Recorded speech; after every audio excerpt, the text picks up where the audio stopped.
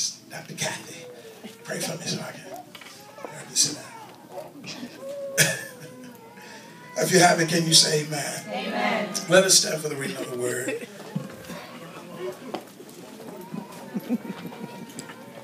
Pressure's on.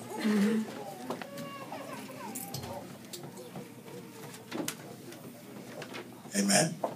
Joshua chapter 1, verse 8.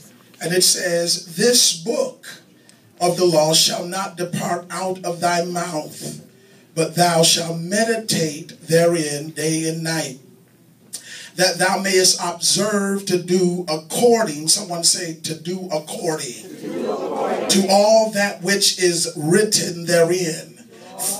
No, no, I just want you to say, uh, to do according. Amen. Uh, that is written therein. For then thou shalt make thy way prosperous. Somebody say, Thou shalt make thy way prosperous. And then thou shalt have good success. Ah. Father, in the name of Jesus, Lord, we thank you for your grace and your mercy this time.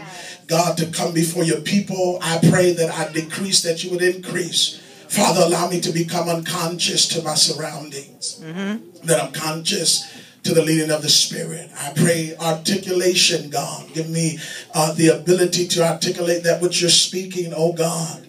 Use my tongue as a pen in the hand of a ready writer. Speak that which you would have your people to know, God, that they might come into a place of liberty and wholeness. In Jesus' name we pray. Let the household of faith say amen. Amen.